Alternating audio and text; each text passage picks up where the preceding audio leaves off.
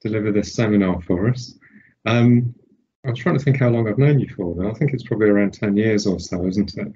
Um, and well, Sarah's done all kinds of research actually. It's, it's really kind of difficult trying to characterize what you do because you've done so much diverse stuff. But let's just summarize a few brief things. You've done research into reading motivation. You've done research into mental toughness. You've done research into working memory as well, I seem to remember. That's correct, isn't it? Um, yes, yes, function research, that's right. But that really doesn't do justice to the breadth of research that you do, really, is it?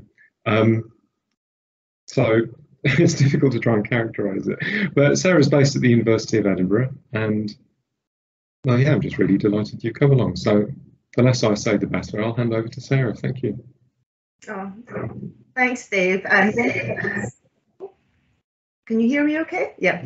Uh, one thing I will say is for the last um, year or so, I've decided that I'm going to narrow my focus of research. So I'm going to be doing, focusing on literacy research from now on, um, and specifically research which involves collaborating um, with children, young people and teachers, and that's some of the work um, that I'll be talking about today. So I'm just going to share my screen. Um, I keep getting invited to other meetings, so I'm going to try not to go to those. Um, here we go. So I hope everyone can see this. Dave, can you just let me know? Can you see that okay?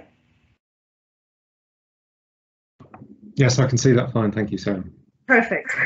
So today um, I'll be talking about co-designing um, educational um, interventions. I'll specifically be talking about different models of collaborative research which involve working with children, young people, parents, teachers or other professionals, and in particular some of the work from our LALCO group um, and um, in particular those studies which focus on co-designing uh, interventions.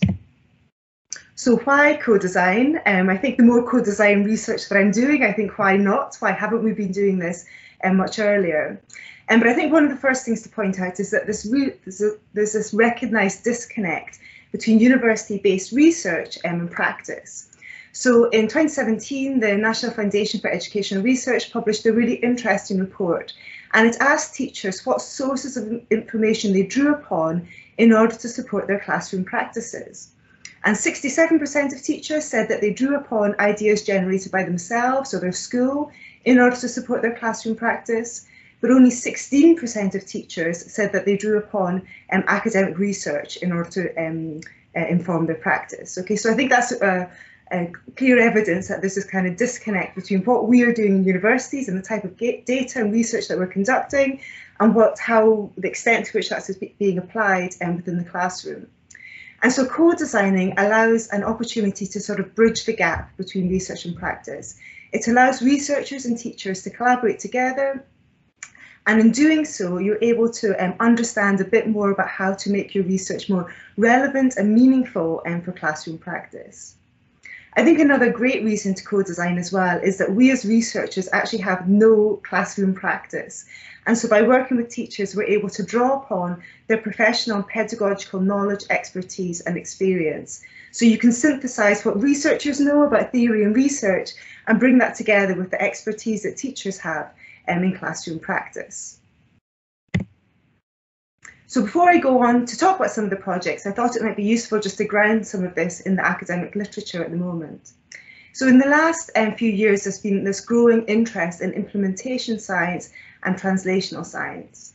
So implementation science is the study of how evidence-based programs can be embedded in order to maximise successful outcomes. So we know that very often research-informed interventions often fail to transfer successfully into real-world educational contexts. And some of the reasons for this are to do with implementation, so they're just not feasible or practical, at least not to be sustained um, in any kind of long term. Whereas if you're working in collaboration with teachers, you can speak to them about these kind of implementation issues, you know, what's feasible, what's practical, what can be sustained once the researchers leave the school, okay? So working in this collaborative way allows you to understand obstacles to implementation and hopefully overcome some of these as well to ensure that the intervention that you're creating can be implemented um, and sustained given um, school resources.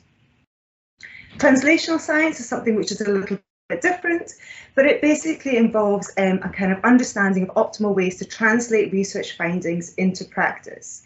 So this isn't something that I'll be focusing too much on today because it's that kind of later stage of the process where you've already carried out the research, maybe just as a, a single research team, but you're looking at translating these findings um, into practice. And again, this is where teachers can come in as well, where you share your research with teachers, you ask them to reflect on it and think about what the implications may be um, for their classroom practice. Um, and I won't be talking about translational science today, but if anyone's interested, um, I do have an example of a translational science project from a few years ago, and I'd be more than happy to um, discuss that. Okay. So as I said at the beginning, um, all of the work that I'm going to be talking about today is um, from part of our LALCO lab. So LALCO stands for Language and Literacy Communication Collaboration Co-Production. Um, it was co-founded by um, Lynne Duncan from the University of Dundee and I in 2019. And LALCO aims to connect those working in research policy and practice in order to optimally support the language and literacy skills and experiences of children and young people. So at the moment we have over 170 um, stakeholder members. We have also have an advisory group with um, members from Education Scotland and Scottish Book Trust um, sitting on that too. And what we aim to do is to bring together people who've got um, different types of experience, knowledge and influence, but who have a shared commitment, I suppose, to supporting um, children young people's language and literacy skills. If you're interested in learning more about LALCO, there's a link to our um, website here, and specifically um, details of all of our LALCO projects um, can, are here. And I'll be talking through some of these different projects um, today. So what are the aims of LALCO? One aim is to develop, promote and share innovative and methodologically robust collaborative research practices. And that's what I hope to be able to do today is just to share some of the experiences that we've had of working in this way um, in case other researchers are maybe considering um, this approach. And there are three principles that underpin LALCO.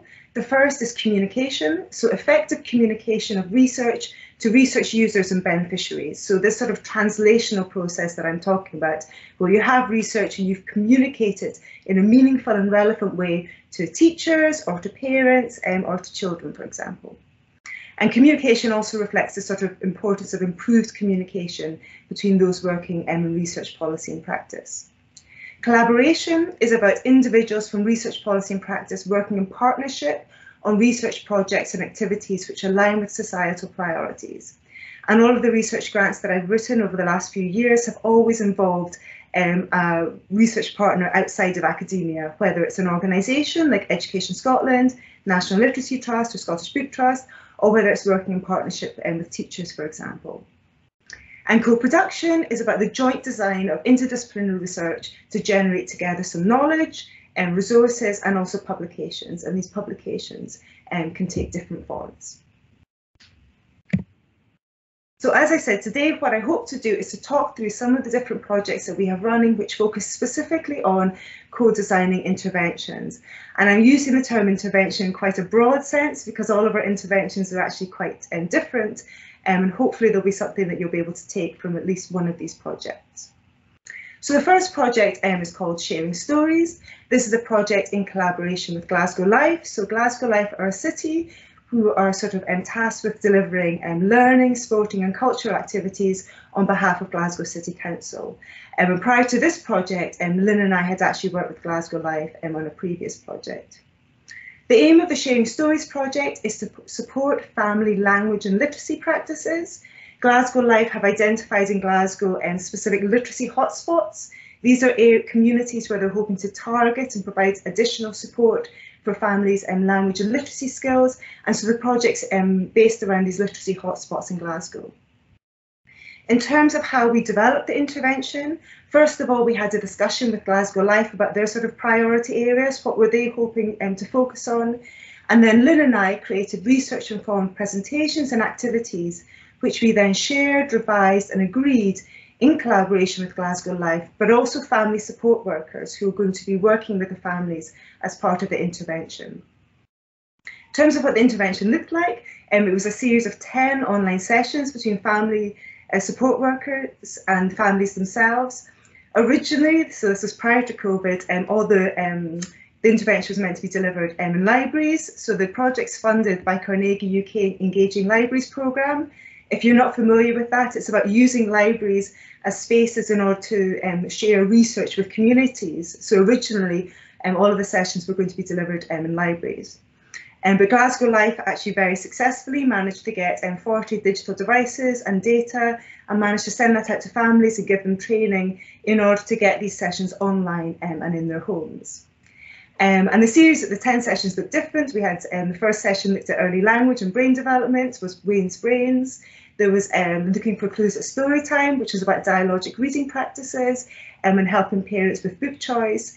And then the final sessions were called um, Once Upon a Time in Glasgow, which looked at the importance of sort of creating stories um, with your children and the importance of stories feeling personally relevant um, to you as well. So the project's be um, independently evaluated and that's required and by the funder. But what we're hoping to do, the sort of second phase of this, is that once we've had the 40 or so families involved in this um, project, we will then co-produce with them a resource that can be shared with other families in the communities in which they live as well. So this is the sort of first stage of the process. And as, as a result of enhancing their knowledge and understanding and confidence, they will then work with us to create a resource and to share with others. Okay.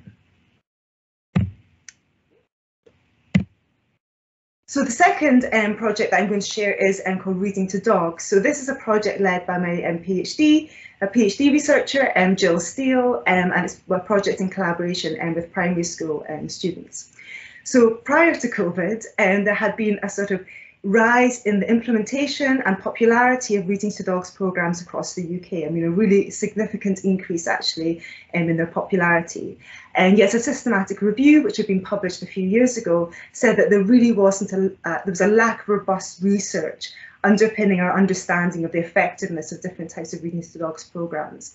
But a lot of them did tend to focus more on sort of well-being outcomes um, and also aspects of reading affect as well. So how reading to dogs might increase children's reading attitudes, their reading confidence, and reduce reading anxiety as well. And so what Jill did was she created um, and evaluated a reading to dogs intervention which was aiming to support children's well-being um, and their reading affect. In order to create the intervention, um, she worked in collaboration with um, three primary school teachers. These three primary school teachers all had um, specific expertise and experience in reading to dogs within their own schools, and they all had um, a role or responsibility in their school, specifically with well-being and or literacy.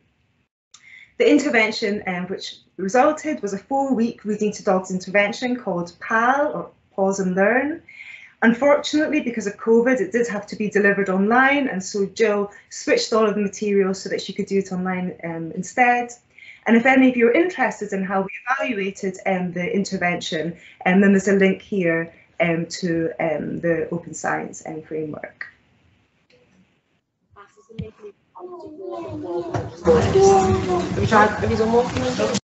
Yep. Okay. So the next um, project that I'm going to talk about is um, called Tackling the Drop Off um, Understanding the Teenage Reading Experience. And this is actually a project which came about as a result of a previous project in collaboration with the Scottish Book Trust. So, a previous project was called Growing Up a Reader, um, and as part of it, we actually trained 12 primary school children and 10 secondary school children at the university. So they came to the university for some research training and then they interviewed their peers about what it means to be a reader and just to learn about their different experiences um, with reading different text types um, as well. Um, and after this project, Catherine Wilkinson at the Scottish Book Trust, who I work really closely with, her and I sat down and thought about what would be a good next step um, for this uh, for this work. And what Catherine said is that really what they wanted to do was to focus on teenage reading because we know that there's a real drop off in terms of teenagers having really low attitudes towards reading, not choosing to read um, frequently. Um, and so um, we decided to focus this project um, on the teenage reading experience. So the aim of the project is to encourage teenagers to read books for pleasure. Um, the method that we have, I think, of all the projects that we've been running, this is definitely the, the project with the highest level of input or collaboration um, from others. So the project's been led by PhD researcher um, Charlotte Webber, Um, and what Charlotte has spent the first year of her PhD doing is just really reading a lot about participatory research approaches. And she's going to be recruiting a youth advisory panel to work with her throughout the course of her PhD. They'll help her to kind of develop the research project and ultimately the intervention as well. So in other projects, when we typically co-design with teachers, we often put specific parameters around our um, intervention. So we may make it of a specific duration, we may use a term like reading motivation in a very specific way. But with this project, Charlotte's really not putting any parameters around it. She's asking students how they would define their terms. What's the best way to communicate with their peers about different information and to get other students interested? And so the intervention may not look like an intervention in its traditional sense, where you have activities and resources. It may be something which is more sort of fluid, more peer-to-peer -peer networks. The truth is we actually don't know what it's going to look like because teenagers are going to have so much input into it. But I think that this is right, given the fact that we are focusing on teenagers, and I don't think teenagers are going to respond as much to an intervention which has been created by teachers and researchers. I think we really have to involve them in it to understand more about their lives and their experiences and with reading. Again, we don't know how it's going to be evaluated, but we know that it'll be mixed methods. Um, and I'd really strongly encourage anyone who's doing any intervention work to always carry out a mixed methods approach. So you're not just looking at measurable changes in outcomes, you're also looking at people's experiences, so teachers and children's experiences with the intervention as well, and asking teachers questions around implementation and feasibility and sustainability um, too. There's a couple of things that I want to point out about this project. So one is that it's funded by uh, ESRC and SGSSS and Collaborative PhD Studentship. So this was a supervisor-led call. So Lynne and I wrote the application. And when we wrote the application, um, it, they specified that the PhD research would have to make an intellectual contribution towards the project. And so the actual application that we put in wasn't clearly defined about what exactly was going to happen. And so we're able to have this kind of very high level of participation in terms of the direction that the project will go in. I think traditionally when you apply for research funding, sometimes you have to be very precise about what you're going to do. And that can be really difficult when you're co-designing um, in this way. Um, so yeah, just thinking about the way there's a sort of tension, I think, between wanting to have high levels of participation from others, but also understanding that when you're applying for funding, sometimes you do need to set specific parameters around what you're planning to do. I think another um, point that I wanted to make about this project is that in some ways it raises um, greater ethical considerations than other projects may do as well. So we said to the Youth Advisory Panel approximately how many hours we'd like them to be involved in the project and over what duration, in what way we'll be communicating with them and what types of information we'll want as well. But actually this is a project which may go off in different directions um, and so you need an ethics committee who are quite quick to respond to changes and um, more so than a, a, sort of traditional research project where you've got a very clear idea about what you're doing and you stick um, to that idea.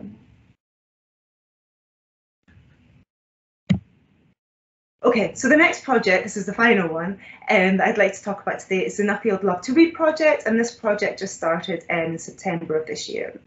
And the aim of the Love to Read project is to inspire and sustain a love of book reading, and we're specifically focusing um, on children aged 9 to 11 approximately, so the last three years um, of primary school. What we're hoping to, well, what we will be doing is sort of integrating what we know from theory and research about how to inspire and sustain a love of reading. We'll also be interviewing children and um, to learn more about their experiences and their ideas of practices to support um, reading motivation. And we'll be taking this knowledge and sharing it with teachers to co-design um, an intervention.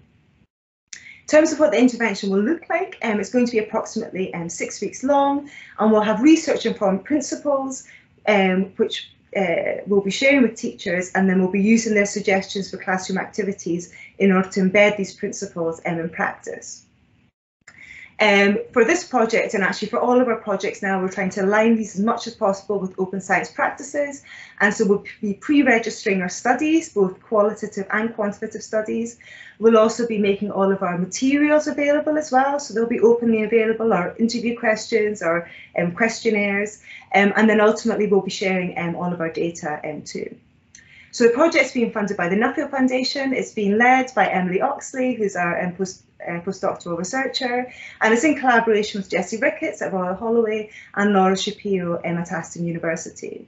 And this is also a project uh, funding application that we wrote in collaboration with Education Scotland, Scottish Book Trust, National Literacy Trust, and also two um, teachers as well, so Megan Dixon um, and Katrina Lucas.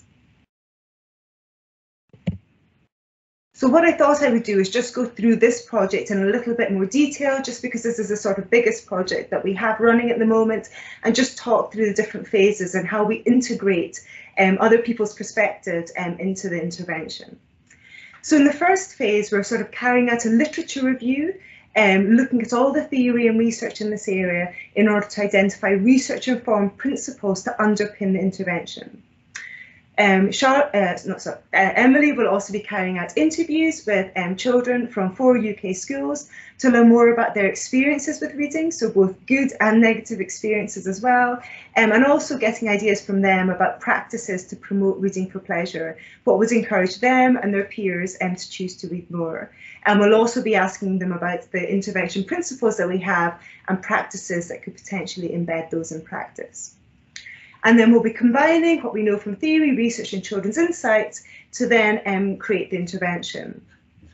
So the intervention is going to be co-designed with six primary school teachers who will be recruited um, for the project and we'll have an open recruitment phase for this. Um, and there'll be um, a series of six uh, online uh, design cycles um, where we'll be seeking in, independent and individual contributions and then coming together for a group discussion and decision making about which practices will be best um, for classrooms. And then following this, we have a feasibility study planned um, with six schools, so two probably in Edinburgh, two in Birmingham and two in London, where the other um, investigators are based. And it will be a mixed method study, so quantitative measures looking to see if there's any measurable changes in children's reading motivation and engagement as a result of intervention, and also qualitative um, uh, data post-test as well, where we ask children about their experiences with intervention, but we also ask teachers as well about their experiences um, and any issues with kind of implementation um, and sustaining it um, beyond uh, the project. So as I said at the beginning, what we hope to do as part of the LALCO Lab is to be able to share our own experiences of um, collaborating with others um, because we're aware that at least if you're a psychologist, this is actually quite new to you. I'm aware that in other disciplines such as childhood studies, and um, they've got a much longer history and tradition of carrying out participatory research, but actually for psychologists, this is still quite new. And so I think it's really important that we share our experience so that we're able to improve um, on the methods that we use. So I think um, I've sort of set out these different stages. The first stage is, I suppose, responsibilities of the researcher, which you need prior to the sort of co-design process. And I think one of the first things is to carry out a sort of thorough review of the research literature, but being able to summarise that in a concise way for teachers in a way that's also going to be educationally relevant and meaningful for them as well. And there can be quite a lot of work involved in bringing together quite a big research literature and finding a way to succinctly and successfully um, share that with teachers. I think as well, um, and it does depend on different projects, but I think as well you need to have quite a clear framework in place of what you plan to do um, and often clear intervention parameters as well. Otherwise you can spend a lot of time in discussion with teachers about how long is it going to be, you know, what will it look like, Whereas I think sometimes it can be quite helpful to have an idea in mind about, okay, this is ex exactly what we're planning to focus on. This is the duration that we think we have the resources to do it for. What's the optimal way to use time within this specific time period? And I think another thing and to take into account is that it's really important to understand the curriculum, policy and existing teacher focused guidance in as well.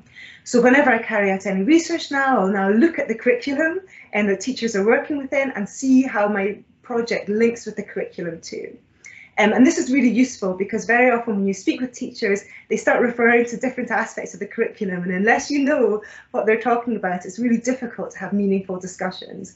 And so I think as researchers, we do need to be a lot more familiar with the literature and the guidance and the resources that teachers are drawing upon, just to have better discussions and understanding about where they're coming from. In terms of the next stage, I think um, in terms of selecting and recruiting the co-design team, I think it's important to have complementary yet unique skills, knowledge um, and experience. And you also want your co-design team to be representative as well.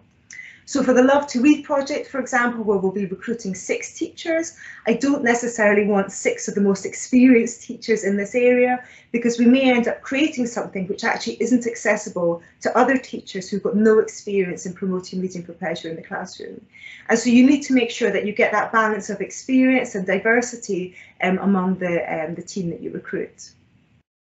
I also think it's really important to recognise the fact that teachers are really stretched at the moment and they've got limits on their time and their availability. And so you need to be as flexible as you possibly can um, in order to um, encourage teachers to get involved and to make this a beneficial um, experience for them. And certainly, I'll, I'll show you in the next slide with the Reading to Dogs one, the feedback that we get from teachers is that this is actually a really beneficial professional learning opportunity for them if they have the space um, to do it. In terms of actually coming to the co-design process, I think at the, at the beginning, especially if you don't have a lot of time, which often you don't, you need to ensure that everyone really has a shared understanding and a commitment to the project goals and the intervention. Um, and very often that's just about specifying exactly what the intervention is aiming to do so that teachers understand from the beginning what it is that they're going to be involved in. I think it can be helpful to have rules in place for co-design to ensure that the process maximises the team's expertise. So the approach that um, Jill used on the Reading to Dogs project, and we've used actually on another project I won't be talking about today, um, and also the Love to Read project, is that we'll ask teachers to um, independently and individually submit ideas for activities. We'll collate all of that together, we'll share it with teachers, and then in the online meetings, we will be having a sort of decision-making process about which activities are maybe going to be best. So that teachers have had some preparation and time to think about things before they come to the meeting. It's also important to recognise the intellectual contribution that teachers are going to be making to the project as well, and that they understand how their input is going to be used. Um, and maybe this is different if you're creating something which is commercial, but all the projects that we're creating, the interventions are going to be freely available. And I think as well, it's worth recognising that there are also different approaches to co-design. So almost all of the co-design approaches that we planned had originally been planned to be in person and we had to move to online.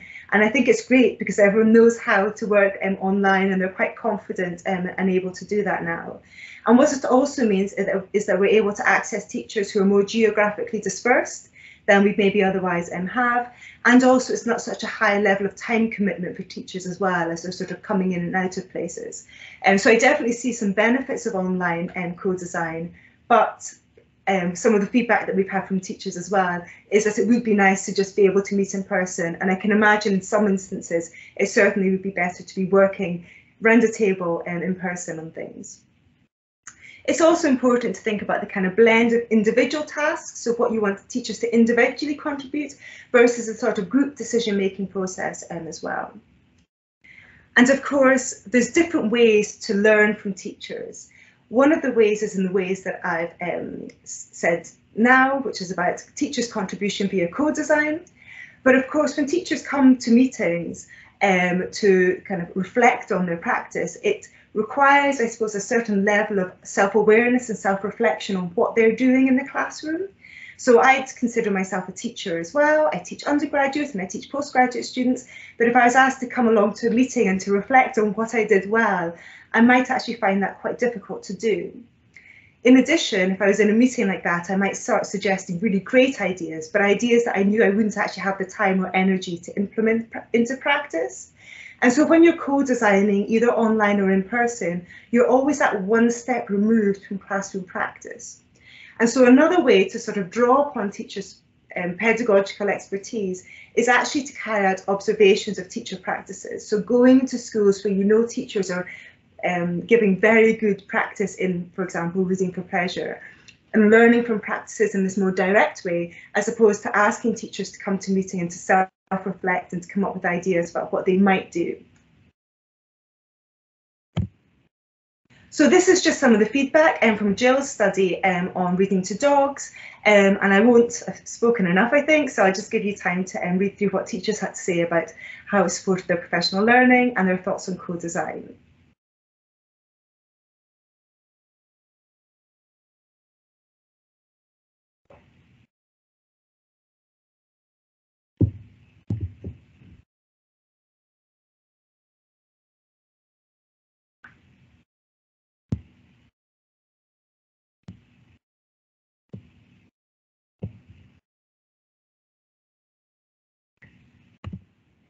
Okay, so just some kind of summary points. I think that there are different approaches to co-design educational interventions and I'm not saying that today I've told you the right approaches or even the best approaches to do it. A lot of this is just learning from our own experiences um, and like I said I'd be really interested to hear if any of you have been using similar approaches and would like to share um, any experiences with us but I definitely think that there's different models that we can have um, and that we really need to be sharing our knowledge and experience of these different approaches too. Another thing to say is usually we just evaluate interventions once they've been carried out, but I also think we need to be evaluating the approaches that we use to co-design um, interventions too. So Jill, who carried out the Reading to the Dogs project, we have a paper um, which is just going um, through revisions at the moment, but we've kind of set out within that a three-phase framework to co-design um, interventions with teachers, drawing upon what was le learnt from um, Jill's um, project in particular. Um, but I think um, as a sort of research community, we really do need to be sharing um, our knowledge and experiences um, with each other. Okay, so that's me. This has kind of come to the end now. So it's opportunity um, for questions and discussion. And um, just to say, the Love to Read project just started in September. If any of you are interested in learning more about the project, Emily Oxley, the postdoctoral researcher, um, is going to be um, sending out monthly newsletters, um, spe not specifically for teachers, but sort of aimed at teachers, but also researchers as well, as we sort of track the Love to Read project. Um, and so if you're interested in receiving these monthly newsletters, um, please just email uh, Emily. Okay, thank you. I'll just stop sharing my screen now. Thank you so much, Sarah. That was fascinating.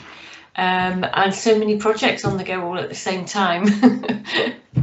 um, there, there have been a few questions in the chat as we've gone along.